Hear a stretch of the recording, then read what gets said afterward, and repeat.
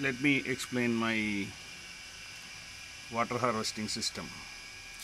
Here we have a rainy filter. Uh, it is uh, hidden behind this uh, air compressor and it is below this kitchen window which is also our some kitchen garden. So from there the water goes uh, to a tank 1 um,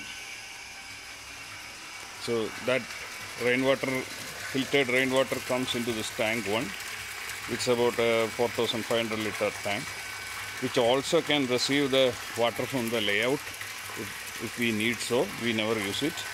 And uh, then when these tanks are empty if there is a good rain like last week uh, we use the flood water which is happening in this well.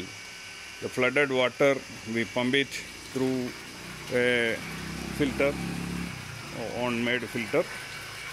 And that uh, water both uh, filtered rainwater and uh, uh, flood water harvested is pumped uh, into a tank 2 which is also connected to tank 3 and from this tank 3 basically we pump all the uh, water for regular use. Uh, these uh, multiple tanks act like one more level of sedimentation and uh, avoids any dust if so in the rainwater. And then uh, from the tank 3 the water is pumped using this uh, small pump here. Um, it goes through a sand filter then uh, through a uh, um, activated carbon filter then a candle filter uh, it goes through a water meter then through a UV filter 500 liters per minute. The valves are set uh, for that 500 liters per hour rate and it goes into a, about 2000 liter tank on the terrace.